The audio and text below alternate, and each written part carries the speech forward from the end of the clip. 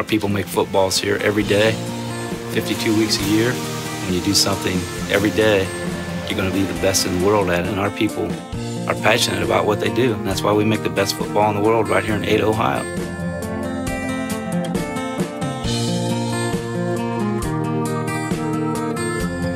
Well, the way we feel in Ada is without us, the game would be pointless. Because without the football, there'd be no points scored. You know, it's all about the ball. Trying to get their hands on that ball get it in the end zone, get it across the goal line. And we're just thrilled that we're part of that.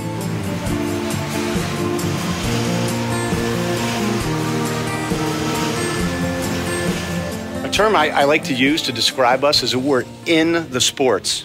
And, you know, what does that mean? That means that all those grassroots activities, that good old fashioned hard work, whether it's our, our tennis people at the tennis courts or our baseball people at clinics and all these kinds of things, that is part of the fabric of Wilson. And it's one of our real strengths, and it's a grassroots approach to running the business. It's truly in the sport. I like it. You know, it's a worked office. It's a working man. If you would have been in here last week, you probably couldn't have stood right there.